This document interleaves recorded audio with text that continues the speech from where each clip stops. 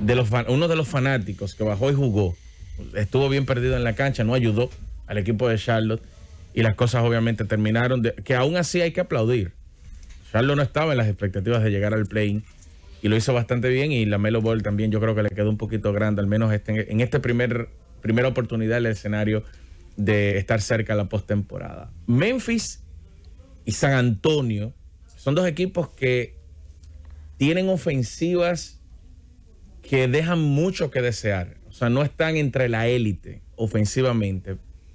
Y San Antonio tiene la particularidad de que es un equipo que también se maneja entre los 10, 12, 15 mejores de la liga. Voy a retirar 10. Entre los 12 y 15 mejores jugadores, eh, mejores equipos de la liga en eficiencia ofensiva y defensiva. Y tienen un estilo de juego tan balanceado que también son igual de mediocres en la defensa.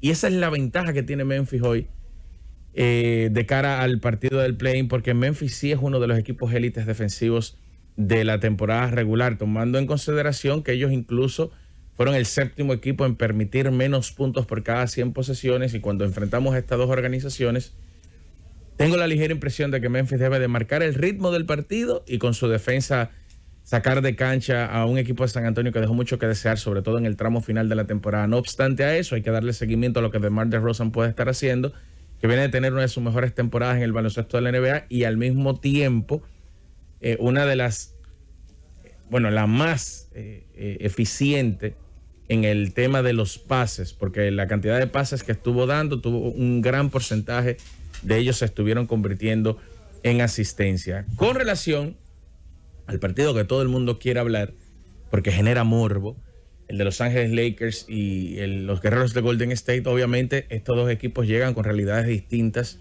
a este enfrentamiento. Hay un falso 7, como es el equipo de Los Ángeles Lakers, y hay un equipo que con todas sus fuerzas hasta aquí era que podía llegar. Y cuando digo hasta aquí, no, estoy descalificándolo como tal, sino a quedar eh, para, en uno de los puestos para pelear por el play Lo que sucede en este partido, obviamente, yo no lo controlo, pero sí puedo decir que es, al ser un falso 7, el equipo de Los Ángeles Lakers, por todos los problemas que se presentaron en la temporada regular, que fue accidentada por las lesiones, pero también la llegada. Y Golden State, ¿es un real octavo? Sí, eso fue lo que acabo de mencionar. Eh, eh, eh, el equipo de Los Ángeles Lakers fue muy accidentado por el tema de las lesiones y también con la llegada antes de la fecha límite de cambio, después de la fecha límite de cambio de Andrew Drummond. Entonces, no podemos saber a ciencia cierta, mirando lo que sucedió en la temporada regular, una tendencia para definir cuál puede ganar el partido. Porque LeBron jugó los tres encuentros contra los guerreros de Golden State, pero Anthony Davis uno. Andre Drummond no jugó contra Golden State. O sea que nosotros no podemos decir, Los Ángeles Lakers van a explotar esto para atacar a Golden State. Lo que sí quedó claro es que en los tres enfrentamientos de Los Ángeles Lakers contra Golden State en esta temporada, el primero fue ganado por los guerreros, pero después amplias las otras dos victorias para Los Ángeles Lakers. Lo que demuestra que en el aspecto íntegramente defensivo, vamos a estar viendo dos equipos élite, uno primero, que es eh, Los Ángeles Lakers, y otro quinto, que son los guerreros de Golden State, deficientes a la ofensiva, pero con una dependencia similar entre las superestrellas. El caso, eh, similar, no diferente entre las superestrellas. Golden State depende demasiado de Stephen Curry. De hecho, cuando Stephen Curry no está en cancha, Golden State parece otro equipo. Sin embargo, Los Ángeles Lakers encontraron cómo jugar en 27 partidos sin LeBron James, récord de 12 y 15. Un récord de 12 y 15 sin tu mejor jugador, que en algunos de esos partidos también estuvo tu segundo mejor jugador, habla del carácter defensivo que tenía ese equipo, que aún teniendo los problemas ofensivos y solamente con la defensa encontraban las vías de la victoria.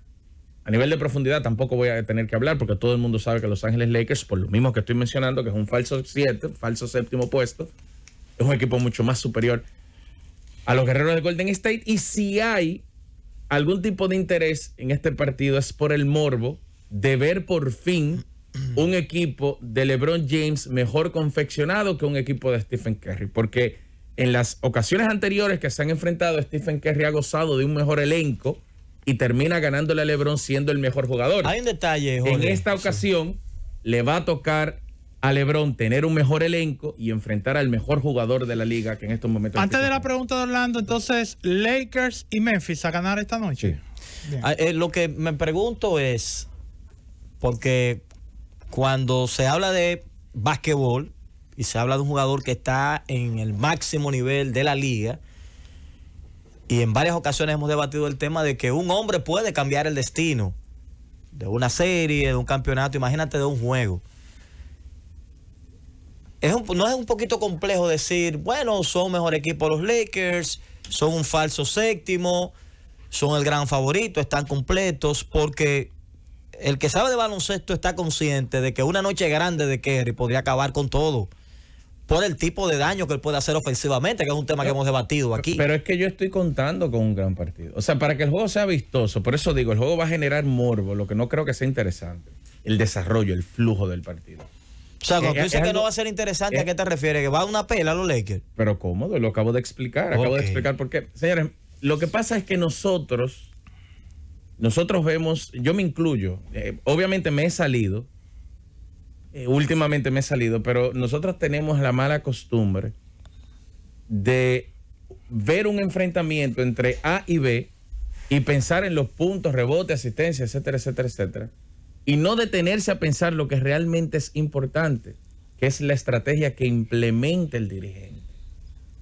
Eh, Golden State es un equipo que juega rápido, pero anota de manera ineficiente.